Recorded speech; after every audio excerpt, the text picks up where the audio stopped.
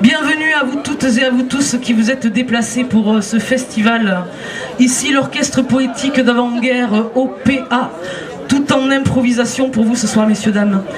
Avant de commencer le concert, on voudrait remercier euh, tout particulièrement les gens de l'association L'Arachitique qui nous ont conviés à venir partager ce moment avec vous. Donc si vous voulez, c'est le moment de leur faire un gros big up à cette association et de les remercier ce campus en ce mois de juin.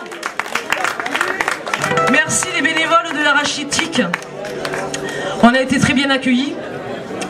On a mangé des trucs bio, comme disait Cora Chéri tout à l'heure. Euh, excellent.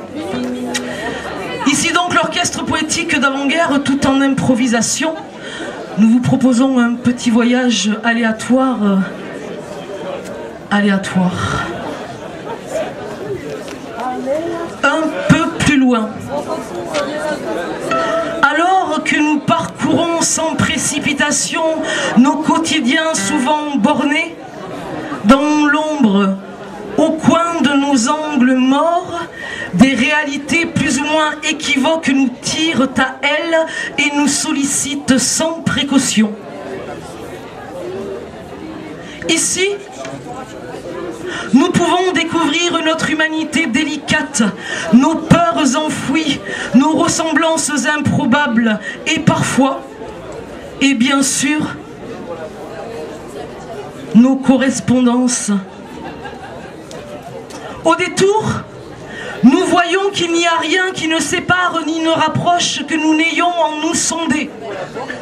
L'autre est là, déjà en nous-mêmes impatients, déjà en nous-mêmes réceptacle et miroir, et nulle peine, nulle joie, nulle bonté, nulle atrocité ne s'attarde à nous surprendre si nous fouillons assez profondément. L'autre est là, avec la même soif, avec la même faim, avec la même ombre qui se courbe dans les matins solitaires, dans les nuits où nous tairons nos visions enfantines, dans les silences qui ont recouvert peu à peu le tumulte que faisait le clapotis de nos premiers chagrins. L'autre est là, tendant son ego vers nos égaux semblables, parfois l'approche ou fuyant au chaos de nos désordres intimes, emportant avec lui ce qui faisait souffle, et dans l'écho terrible d'une porte qui claque, il est encore là comme une trace, comme un sillon, et nous voilà à jamais imprégnés. Alors, se penchant au plus près, à la recherche de ce qui nous distend, nous pouvons retrouver la volonté de partage et d'écoute. Et se souvenir, en conjuguant le présent au futur, qu'il n'y a qu'à baisser la garde pour trouver la confiance et la félicité d'aller nu dans un univers lui-même sans parure.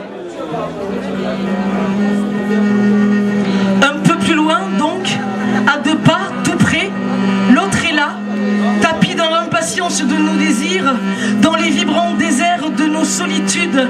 Il nous appelle, et sans feindre de nous reconnaître, il nous ramène au rivage, que dérivant,